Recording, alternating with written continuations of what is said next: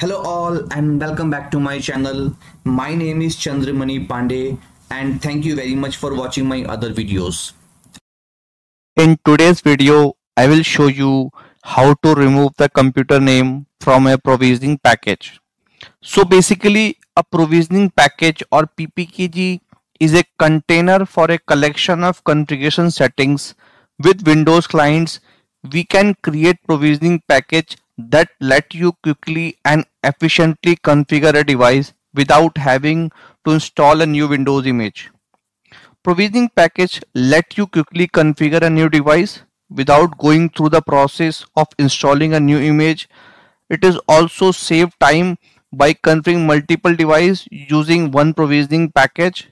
Also quickly configure user owned device in an organization without a mobile device management infrastructure and set up a device without the device having network connectivity.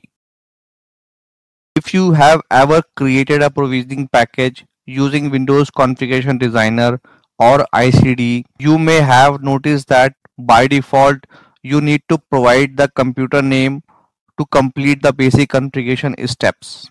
Recently, I was working on a project where the requirement was to remove the computer name from the configuration manager package or ppkg file because the machine already had the correct name and we did not want to change it when enrolling the device in Intune. So let me show you how we can do this.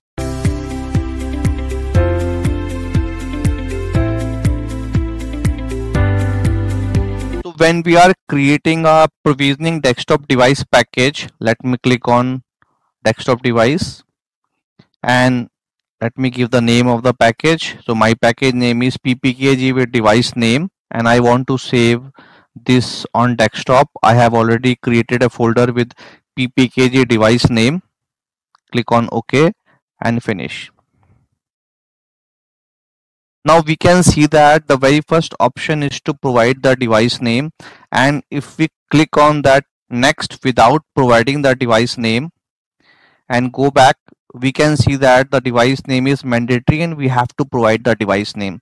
So let me copy the example device name and then click on next and quickly creating a provisioning package and click on next. And I want to enroll this in Entra ID and then let me click on get bulk token.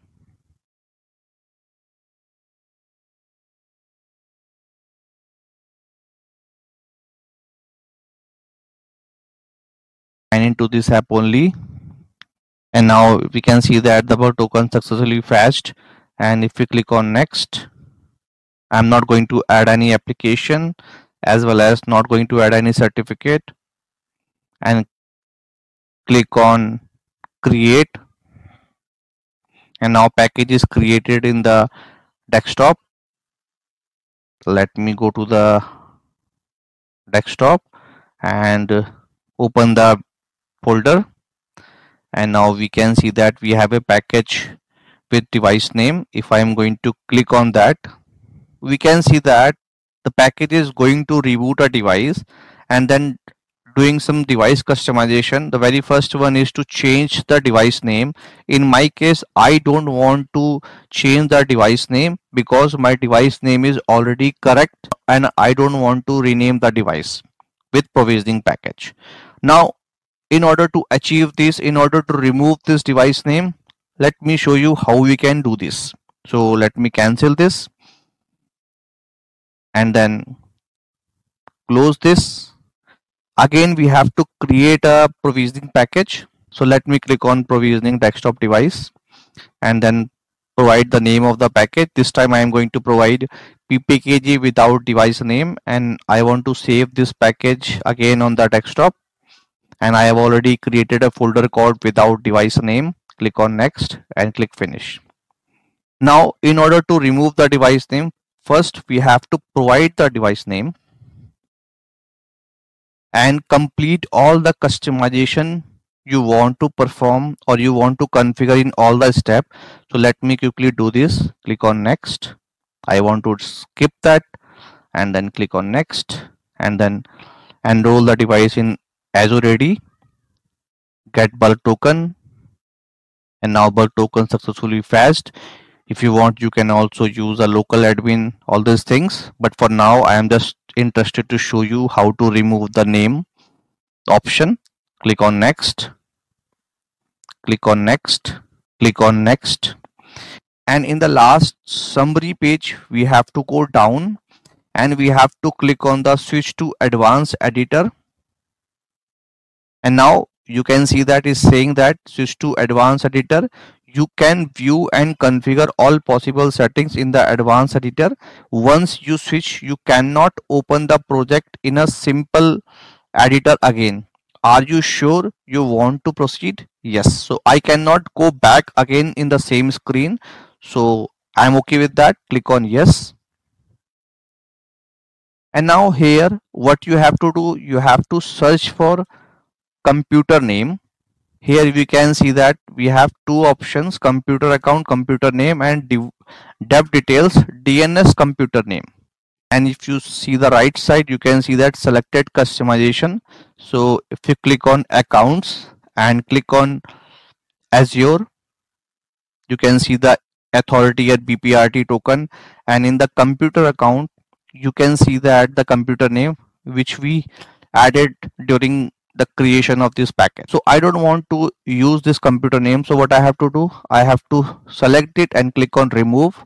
And now we can see that the computer name is now removed from my package. And then what we have to do we have to click on the export option click on provisioning package and then click on next and then click on next and then click on next and click on build a package now we can see that our package is created and the location is the same. So click on finish. And if we again go to the same desktop folder without device name folder we have a package called ppkg without device name. And now if we click on that and open it this time we can see that it is not showing reboot option. It is also not showing change the device name. It is only showing that few customization except device name. And if you click on add it it is going to perform whatever you want to do it like application installation certification installation and so on. So that's all i want to show you in this video how you can remove the device name from the ppkg package I hope this is an informative video for you. Thank you very much for watching this video.